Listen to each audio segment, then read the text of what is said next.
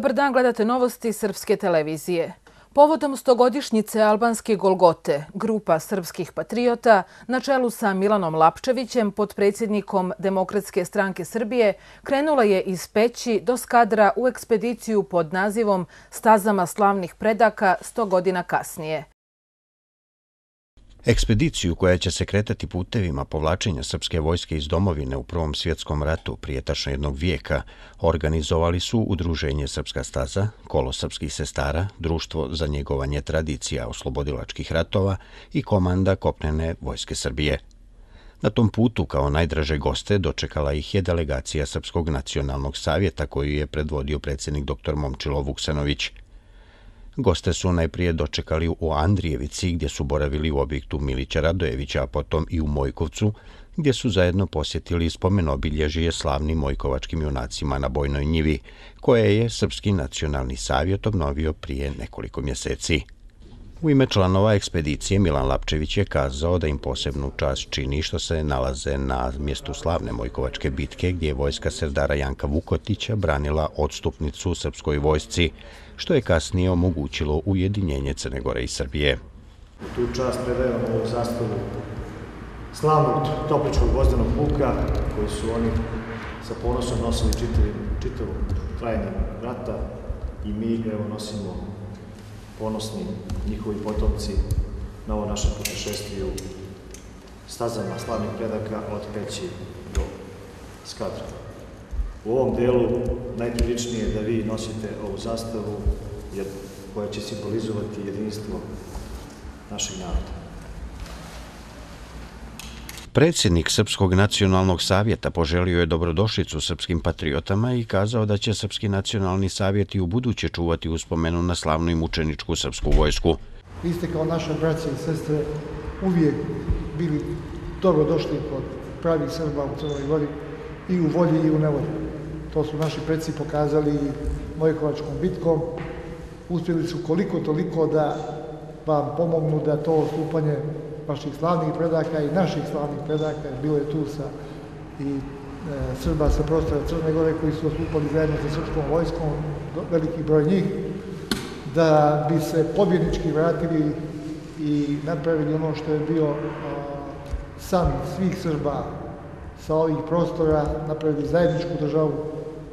Međutim, desilo se što se desilo, a mi se nadamo da će doći neka bolja vremena, možda i bolje generacije koja će opet taj san oslaviti i da opet budemo ono što jesmo, a mi treba da ostanemo braća u svakoj prilici, da vještačke, vještački postavljene granice ne priznajemo, nego da se zna da smo jedno i zajedno i da budemo uvijek zajedno. Dvije delegacije su potom obišle spomenik na Bojnoj njivi gdje su se poklonili sjenima palih crnogorskih vojnika koji su branili odstupnicu junačkoj srpskoj vojsci na njihovom putu od domovine do Jadrana. Mi smo predstavnici Srpskog nacionalnog savjeta po pravilu krovne institucije Srpskog naroda u Crnoj Gori.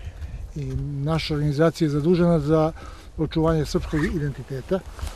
I kako smo mi čuli da je spomenik porušen, da su ove table skinute, tu su bile znači dvije table, spomenik je napravljen u ovakvom obliku 1996. Eh, godine. Napravili su ga patriote Mojkovca iz tada Savezne države ovaj i on je, jeste i tu on je tu bio međutim neki nepoznati ovaj vandali su to skinuli i vidite ćete kasnije tamo na jednom a, panovu pocijepali tu ratnu mapu Mojkovačke bitke i tako dalje. Kad smo mi to čuli, mi smo uz blagoslov vladike Ionikija, znači Budinensko-Nikšićkog vladike, ovaj, obnovili ovu spomen ploču, obnovili ovaj spomenik i postavili krst, jer krsta nije bilo vjerovatno iz razloga što je u tom vremenu bila socijalistička, komunistička vlast i tako dalje.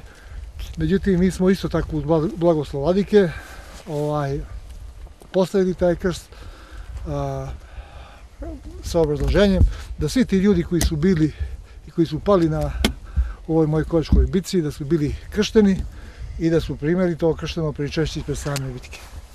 Nakon susreta u Mojkovcu, srpska ekspedicija je nastavila puta. Predstavnici Srpskog nacionalnog savjeta će i dočekati u Podgorici, gdje će zajedno obići spomen obilježje 26-orici srpskih vojnika koje su kući sahranili u zajedničkoj grobnici, a koju je Srpski savjet obnovio za sretenje ove godine.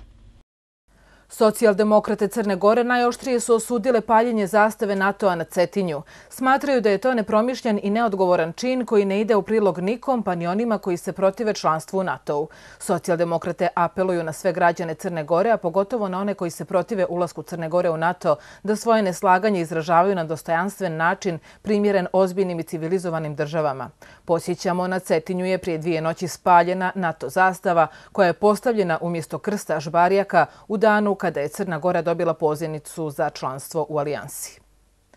NATO alijansa i dalje je usresređena na politiku obuzdavanja Rusije bez obzira na prijetnju od međunarodnog terorizma, izjavio je stalni predstavnik Rusije pri NATO-u Aleksandar Gruško.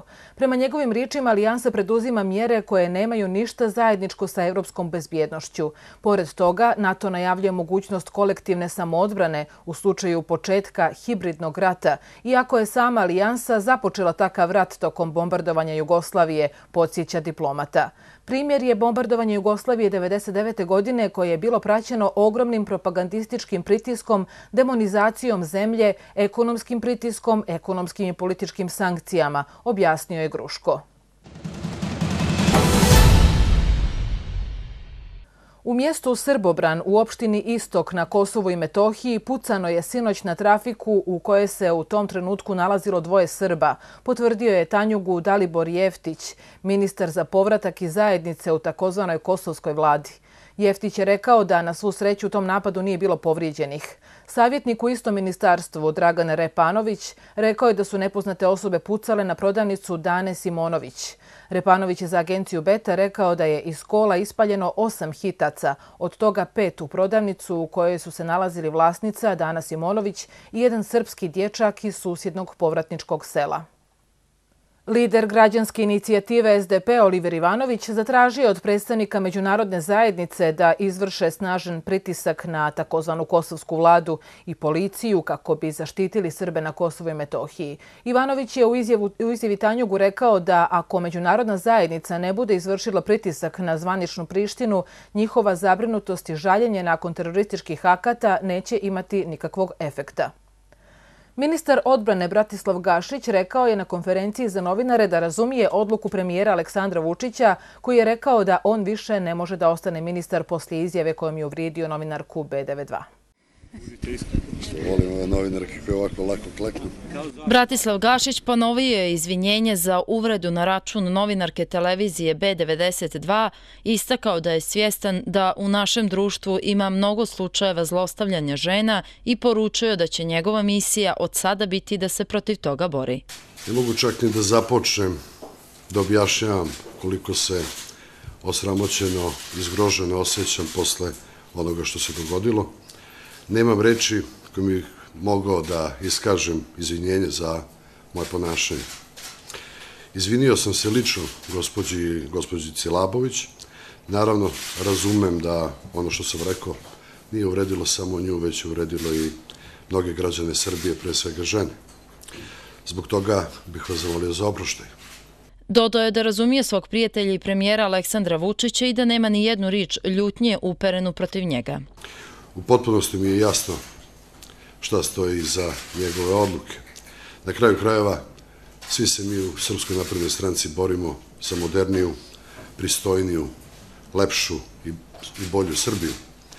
Ja sam i potpredsjednik Srpske napredne stranke i volim Srpsku naprednu stranku i Aleksandra Učića i u narednom periodu učinit ću sve da svojim radom pomognem svojim prijateljima u Srpskoj naprednoj stranci. Upitan da li će podnijeti ostavku, Gašić nije želio da odgovori. Ponovio je da se lično izvinio novinarki koju je uvrijedio i dodao da razumije da ono što je rekao nije uvrijedilo samo nju, već mnoge građane Srbije i zamolio za oproštaj. Toko moje kratke političke karijere dao sam sve od sebe da radim naporno i većinu svog vremena upotrebim zarad dobrobiti zemlje i našeg naroda. Mogu samo da se nadam da ću u budućnosti možda imati priliku ponovo da služim svoje zemlje.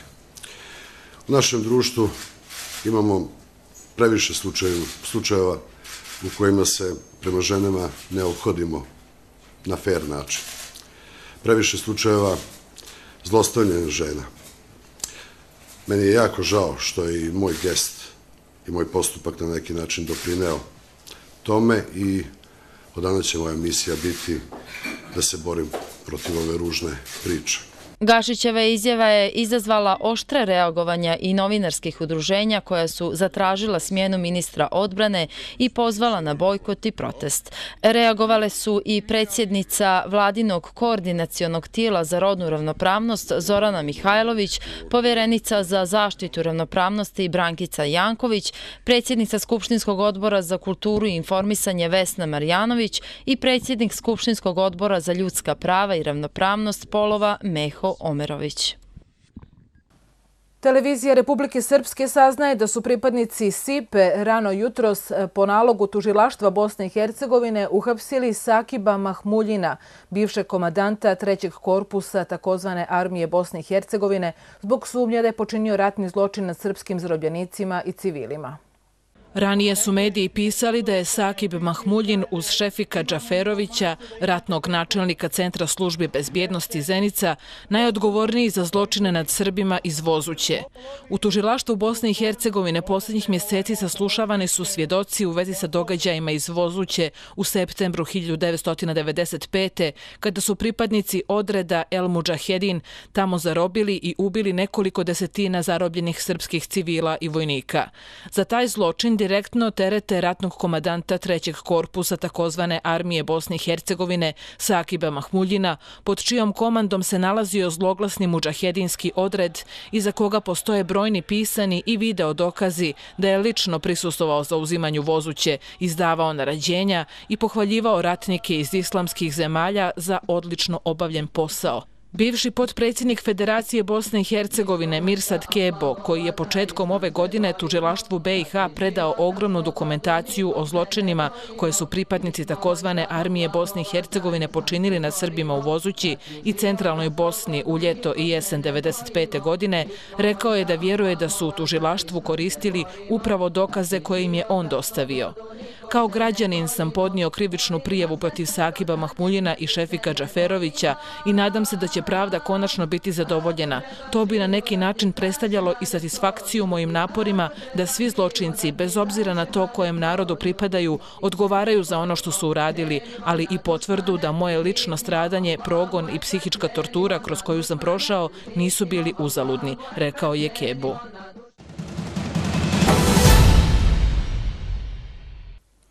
Američki zvaničnici tvrde da su sirijski vojnici koji su poginuli u nedelju u vazdušnom napadu na zapadu zemlje najvjerovatnije stradali u akciji ruskih aviona uprkos optužbama na račun koalicije koju predvode Sjedinje američke države. Sjedinje američke države redovno optužuju Rusiju da koristi bombe koje su manje precizne od američkih. Vlasti u Damasku izrazile su zgroženost zbog tog napada koji su u pismu Savjetu bezbjednosti i generalnom sekretaru Ujedinjenih nacija Ban Ki-moonu nazvale fragrantnom agresijom koalicije koju predvode Amerikanci. Slijedi blok vijesti svijeta. Ruska podmornica Rostov na Donu, opremljena krstarećim raketama, ušla je u istočni dio Sredozemnog mora u blizini sirijske obale, javila je ruska novinska agencija Interfax. Rusko ministarstvo odbrane te navode još uvijek nije potvrdilo. Izvor na koji se poziva Interfax rekao je da se moderna ruska podmornica klase Kilo pojavila u blizini sirijske obale. Riječ je o podmornici koja je opremljena modernim ruskim krstarećim raketama Kalibar. Ova takozvana nevidljiva podmornica na dizel i električni pogon smatra se najtišom u svijetu, posjeduje produženi borbeni domet, a relativno mala veličina joj pomaže da se kreće u plitkim vodama. NATO je takav tip podmornice nazvao crnom rupom zbog njene sposobnosti da ostane neprimjećena. Polovinom novembra pojavili su se navodi i da je ista ta podmornica pogodila ciljeve u uporištu islamske države u Rakiji. Rusija je od Savjeta bezbjednosti Ujedinjenih nacija zatražila održavanje rasprave koja bi bila zatvorena za javnost o vojnim akcijama Turske u Siriji i Iraku, javio je Reuters, pozivajući se na neimenovane diplomate. Ovo je posljednji u nizu znak rastućih tenzija Moskve i Ankare, navela je britanska agencija. Misija Rusije u Ujedinjenim nacijama ovim se povodom nije oglasila, ali diplomate Savjeta bezbjednosti kažu da očekuju da će incident od 24. novembra, kada su turske snage oborile ruski borbeni avion doći na red. Turski ministar spoljnih poslova Mevlut Čavušoglu izjavio je da Ankara trenutno ne namjerava da povuče vojsku iz Iraka. Turski ministar rekao je to prilikom susreta sa iračkim kolegom Ibrahimom El Džafarijem, a prenio port parol ministarstva Tanžu Bilgić. Čavušoglu je dodao da Ankara također ne namjerava da šalje dodatne trupe na sjever Iraka. U nedelju je premijer Iraka Hajder El Abadi izjavio da Bagdad može pribjeći bilo kojim mjerama, uključujući obraćanje Savjetu bezbjednosti Ujedinjenih nacija, ukoliko Turska ne napusti teritoriju Iraka u narednih 48 sati. Izvor blizak vladi Iraka rekao je da će u slučaju da Turska ne povuče svoje snage, Irak uvesti sankcije Turskoj, prenio je Sputnik. Turska policija privela je 18 ljudi, uključujući visoke policijske oficire, u okviru istrage o navodnim pristalicama sveštenika Fetulaha Gulena, koji je protivnik predsjednika Tajpa Erdogana, javila je državna agencija Nadolija. Objavljeni su nalozi za hapšenje 27 policajaca u 13 provincija, a fokus akcije je u Istanbulu. Operacije protiv Gulenovih pristalica nastavljaju se od kada je Erdoganova stranka pobjedila na izborima 1. novembra.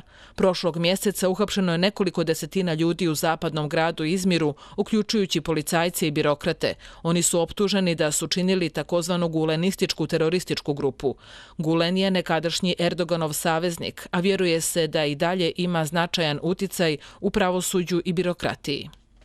Potpredsjednik Sjedinjenih američkih država Joseph Biden nakon sastanka sa predsjednikom Ukrajine Petrom Porošenkom Rekao je da to što je svjetska pažnja usmjerena na Siriju ne znači da su zahtjevi Rusiji da vrati Krim Ukrajini pali u drugi plan. Prema riječima Bajdena, mirovni sporazum iz Minska ne može da uspije ako Rusija ne ispuni svoje obaveze. Ovo je četvrta posjeta Bajdena Kijevu od pripajanja Krima Rusiji u martu prošle godine. Bajden se sastao i sa ukrajinskim premijerom Arsenijem Jacenjukom, a poslije toga je nagovijestio da bi Rusija mogla da se suoči sa dodatnim američkim sankcijama ako ne ispuni obaveze iz mirovnog ugovora. Podpredsjednik SAD-a je naglasio podršku svoje zemlje Ukrajini i objavio da će za pomoć reformama te zemlje biti izdvojeno dodatnih 190 miliona dolara. Za vrijeme sastanka Jacenjuka i Bajdena ispred Vrhovne rade održan je protest na kojem se tražila ostavka premijera.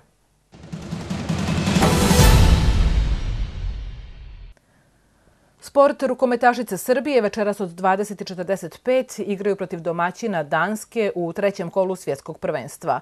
Pobjeda ili remi aktuelnom vice šampionu donosi gotovo siguran plasman u osminu finala. Naša računica za jedno od prva četiri mjesta u grupi je jasna. Moramo da dobijemo Japan i Tunis, rekao je selektor Saša Bošković u oči posljednja dva meča grupne faze. Prva dva donijela su bod protiv Crne Gore i poraz od Mađarske. Reprezentacija Crne Gore igraće u Herningu sa Mađarskom od 18 sati i 30 minuta. Najbolji teniser svijeta Novak Đoković i atletičarka Ivana Španović najbolji su sportisti Srbije za 2015. godinu u tradicionalnom izboru Olimpijskog komiteta Srbije. Novak Đoković, koji je objedljivo prvi na ATP listi, osvajač je tri Grand Slema u 2015. Otvorenog prvenstva Australije, Wimbledona i otvorenog prvenstva Amerike. Ivana Španović je ove godine osvojila evropsko zlato, svjetsku bronzu i preskočila magičnu brojku od 7 metara. Najbolji muški tim su vaterpolisti, osvajači svjetske lige i prvaci svijeta. Najbolji ženski tim je košarkaška reprezentacija. Izabranice Marine Maljković osvojile su zlato na prvenstvu Evrope. Najbolji mladi sportista je tekvondistkinja Tijana Bogdanović, koja je kao junior osvojila bronzanu medalju na svjetskom prvenstvu za seniore, srebrnu na evropskom za seniore i zlatnu na evropskom prvenstvu za juniore. Za najuspješnijeg trenera proglašen je selektor vaterpolo reprezentacije Dejan Savić. U godini u kojoj su održane prve evropske igre, Olimpijski komitet Srbije proglasio je najuspješnije na ovom takmičenju. Damir Mikic je sa dvije osvojene zlatne medalje najuspješniji sportista, dok su u ženskoj konkurenciji najbolje kajakašice Dalma Benedek Ružičić i Milica Starović koje su osvojile zlatnu medalju u disciplini K2 500 metara. Dan Olimpijskog komiteta na kojem će najuspješnijima biti uručeni trofeji održat će se 17. decembra u Domu Narodne skupštine Republike Srbije. Na kraju novosti prognoza vremena za Crnu Goru za 9. decembar. Pretežno sunčano, krajem dana i tokom noći postepeno povećanje oblačnosti. Na sjeveru ujutru slab do umiren mraza po kotlinama magla koja će se ponegdje zadržati tokom cijelog dana. Vjetar slab do umiren promjeljivog smjera tokom noći u skretanju na sjeverni. Jutarnja temperatura vazduha od minus 5 do 8, najviša dnevna od 6 do 17 stepeni. Podgorica pretežno sunčano, tokom noći promjenjivo oblačno. Jutarnja temperatura vazduha oko 1, najviša dnevna do 15 stepeni stepeni. Toliko o novostima Srpske televizije. Naredna informativna emisija na programu je u 22 sata. Prijatno.